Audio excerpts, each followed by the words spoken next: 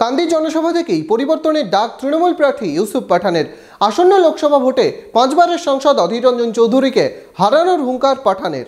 বহরমপুর শহরেই four star deluxe premium hotel with luxury and comfort golden retreat এখানেই জেলার একমাত্র ডিস্কোথেক আছে রেস্টুরেন্ট লাউঞ্জ বার অত্যাধুনিক gym spa swimming pool club মেম্বারশিপের সুযোগ। বহরমপুর শিল্প তালুকে গোল্ডেন রিট্রিট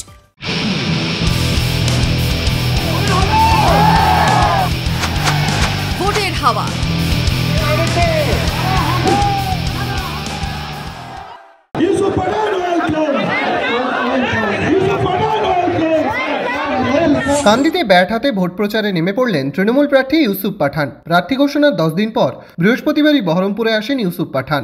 সেদিন থেকেই জনসংযোগে দেখা যায় তাকে। শনিবার কান্দি থেকে কার্যত ভোটের প্রচার শুরু করলেন তারকা ক্রিকেটার ইউসুফ পাঠান। এদিন কান্দির হ্যালিফক্স ময়দানে কান্দি, বড়োয়া ও ভরতপুর বিধানসভার নেতৃত্বদের নিয়ে নির্বাচনী সভায় যোগ দেন ইউসুফ পাঠান। এদিন প্রচারের ফাঁকে ইউসুফ পাঠানের সাথে ছবি তুলতে দেখা যায় খুদে ক্রিকেটারদের। ক্রিকেট ব্যাটে ও জার্সিতে সাইন করেন ইউসুফ পাঠান।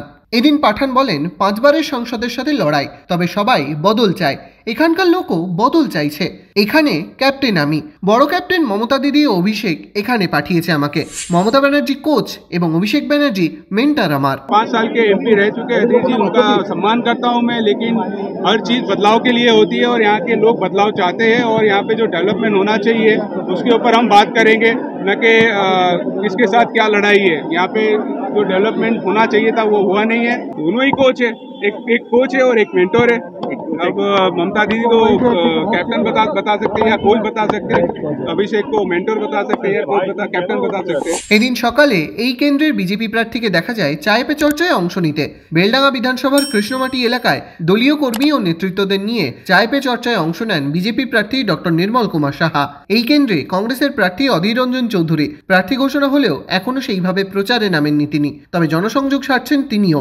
যদিও তৃণমূলের সভা নিয়ে কটাক্ষ করতে ছাড়ছে না কংগ্রেস। আমি চাই এই বহরমপুর আসন যদি হারে তাহলে দিদি বলুক আমার হার খোকাবাবু বলুক আমার হার। যদি জেতে তাহলে দিদি বলুক আমার জিত খোকাবাবু বলুক আমার জিত। আমি এইটুকুই শুধু চাইছি। Bureau report imagine community media.